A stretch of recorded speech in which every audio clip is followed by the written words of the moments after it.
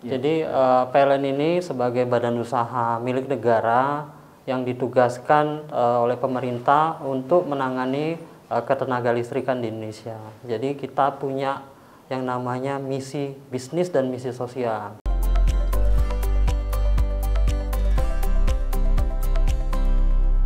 Selamat sore Tribuners, kembali lagi bersama saya Faisal Afan dalam program Tribun Topik. Saat ini saya sedang bersama dengan Pak Denny Fitrianto ya. selaku manajer PLN UP3 Purwokerto Banyumas. Ya, hari ini saya akan ngobrol-ngobrol dengan Pak Denny, ya, ya kan? Siap, mas yang baru tiga bulan nih di sini. Iya Pak, ya baru tiga bulan di UP PLN UP3 Purwokerto, tapi pengalamannya sudah lebih dari 10 tahun, iya kan Pak? Amin. Sebelumnya di Sumatera. Sebelumnya Sumatera Utara. Sumatera Utara. Saya Sumatera. di UP3 Sibolga. Sibolga. Kemudian UP3 Lubuk Pakam. Hmm, berapa lama di sana, Pak? Uh, dua tahun. Dua tahun. Terus habis itu? Habis itu lanjut ke sini. Oh, ini UP3 ketiga. UP3 ketiga ya. Ketiga Siap. ini ya, Pak ya. Iya. Oke, baik. Pasti sudah menguasai Medan sekali ini. Pasti ya, Pak ya. Amin. Amin. Oke, baik. Uh, langsung saja mungkin Pak, uh, apa sih Pak yang menjadi program di PLN UP3 Purwokerto ini hmm. yang sedang dijalankan saat ini itu apa kira-kira supaya memisah Tribuners ini pada paham lah setidaknya gitu. Ya. Jadi uh, PLN ini sebagai badan usaha milik negara yang ditugaskan uh, oleh pemerintah untuk menangani uh, ketenaga listrikan di Indonesia. Jadi kita punya yang namanya misi bisnis dan misi sosial. Hmm. Selain juga kita harus uh, mendapatkan untung, hmm. tetapi juga uh, kita ditugaskan untuk mendukung program-program uh, pemerintah, terutama hmm. untuk mendorong kegiatan ekonomi. Hmm. Seperti itu Mas Afan. Baik. Pak Denny, apa contoh yang sudah dilakukan oleh PLN UP3 Purwokerto hmm. terkait program yang mendukung pemerintah kabupaten dari sisi selain untung tapi juga sosialnya? Oh. Oke. Okay. Uh, eh, khusus ya saya bicara terkait yang sudah dilakukan oleh UP3 Purwokerto. Hmm. Uh, saat ini pemerintah Kabupaten Banyumas hmm. sedang uh, menjadi contoh uh, di negara ASEAN salah satu kota yang yang menjadi contoh hmm. untuk penanganan sampah, Mas Afan. Oke, okay, Jadi di mana yang sampah yang uh, di tempat lain atau di daerah lain yang uh, menjadi beban hmm.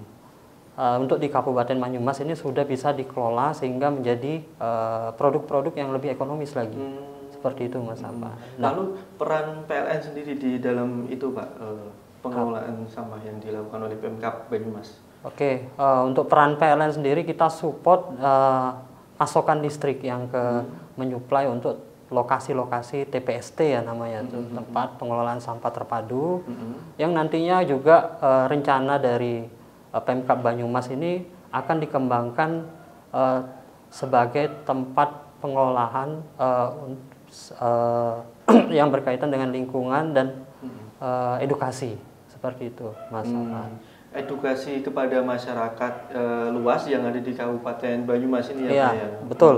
Hmm. Edukasi terhadap masyarakat luas juga e, mungkin negara-negara lain juga akan e, sudah ada ya, sudah hmm. ada yang datang ke Banyumas untuk melihat proses penanganan sampah di Banyumas ini seperti apa. Hmm, Oke okay, baik. Ya. Lalu sasaran sendiri Pak dari program yang dicanangkan oleh pemerintah kabupaten dan berkolaborasi dengan PLN ini uh, sasaran yang diberikan kelistrikan yang diberikan itu kepada pihak siapa saja itu Pak?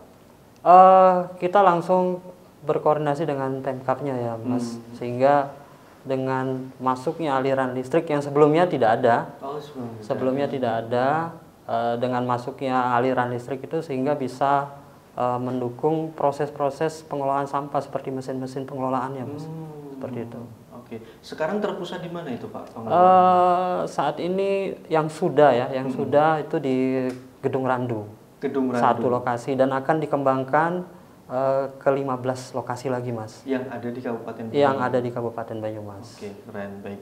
Lalu uh, untuk program itu sudah berjalan berapa lama Pak dari pembicaraan uh, tentang pengelolaan sampah yang ada di Banyumas dengan berkolaborasi dengan PLN ini sudah berjalan berapa lama ini? Uh, kalau untuk program ini sih baru ya Mas ya. -hmm.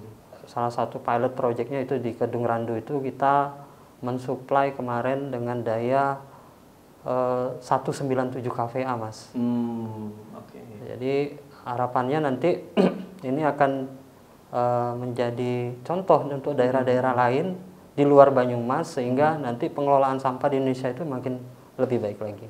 Oke, baik. Nah, pengembangan apa Pak yang akan dihadirkan dalam waktu mendatang yang akan dilakukan lah untuk PLN UP3 Purwokerto itu apa kira-kira di hingga menjelang akhir tahun 2023? Hmm. Oke, saat ini kita coba untuk eh, juga berkolaborasi dengan Pemkap Banyumas Hmm. terkait untuk pembangunan smart city yang Hmm. ada di Jalan Bung Karno, di mana nantinya eh, konsepnya bahwa eh, instansi-instansi atau pelaku-pelaku bisnis yang yang nantinya berlokasi di situ akan mendapatkan eh, pelayanan pasokan listrik itu tanpa padam. Hmm. Harapannya eh, PLN dalam hal ini eh, menjual menjual energi listrik Hmm. dan bisa langsung dimanfaatkan oleh pelaku-pelaku bisnis tersebut, Mas. Oh, UMKM UMKM gitu ya? Eh, kami belum tahu untuk renc- apakah rencana UMKM atau nanti bisnis yang lain. Hmm, oke. Itu eh, informasinya sudah eh, ini ya Pak, kabel-kabel sudah tidak ada di atas lagi ya itu ya? Betul, Tanam Mas. di- Ditanam di Konsep gitu ya? Smart City itu sendiri sebenarnya eh, kita membangun jaringan untuk supply di daerah Smart City tersebut eh, dengan menganut estetika ya. Hmm. Sehingga kabel-kabel yang kita lihat yang umumnya di atas ya, saluran eh, udara sekarang sudah bisa di, eh, diletakkan di dalam tanah. Seperti itu, Mas Afan. Oke, baik. Eh, Pak Denny terakhir, mungkin apa sih Pak yang bisa dikolaborasikan dengan antara PLN dengan potensi-potensi energi yang ada di Kabupaten Banyumas yang salah satunya berupa tenaga hidro misalkan. Nah, kolaborasi apa yang bisa dilakukan untuk itu Pak? Nah, oke eh, wilayah eh, kerja UP3 Purwokerto ini eh, termasuk di lokasi-lokasi atau daerah yang yang sebenarnya menjadi sumber energi hidro yang seperti Mas Afan sampaikan. Contohnya di eh, Purbalingga, kemudian Banjarnegara itu sebenarnya punya potensi-potensi eh, di mana kita bisa membangun untuk eh, pengelolaan EBT, Mas, energi baru dan terbarukan. Jadi memang eh, dari sisi PLN sendiri kita mendukung program pemerintah eh, menuju emisi nol di tahun 2060 dan harapannya nanti eh, pembangkit-pembangkit kita yang masih menggunakan diesel itu akan beralih semua ke eh, pembangkit EBT seperti EBT. itu Mas. Oke. Baik, terima kasih. Eh, kembali ke harapan ini Pak, Hmm. kira-kira dari Pak Denny, harapan apa yang akan dibawa selama memimpin UP3 PLN UP3 Purwokerto ini Pak? Ah, ini untuk eh, harapan kami sih sebagai PLN UP3 Purwokerto kita bisa menjadi supporting ya gimana untuk seperti yang ditugaskan oleh pemerintah kita sebagai pendorong kegiatan ekonomi di daerah Mas. Jadi harapannya nanti Banyumas ini yang eh, kaya dengan eh, energi baru dan terbarukan dan mungkin teman-teman atau Bapak Ibu semua tahu bahwa kita kaya akan daerah-daerah wisata Hmm. dan juga saat ini juga eh, banyak eh, permohonan-permohonan kami untuk pengembangan eh, peternakan ayam yang yang eh, sifatnya close house ya. Hmm. Nah, harapan kami dengan dengan eh, PLN bisa menjadi eh, pendorong ekonomi itu, kita bisa mensupport kegiatan-kegiatan ekonomi yang yang berjalan di terutama di Kabupaten Banyumas dan sekitarnya. Oke, Tribuners itulah bincang-bincang saya dengan Pak Denny Fitrianto selaku manajer PLN UP3 Purwokerto eh, terkait program yang sudah dijalankan maupun yang akan dilakukan oleh PLN UP3 Purwokerto. Ya, Pak. Mas Afan. Ya, terima kasih banyak sudah menyaksikan video YouTube Tribun Jateng dan jangan lupa subscribe channel Tribun Jateng dan terima kasih.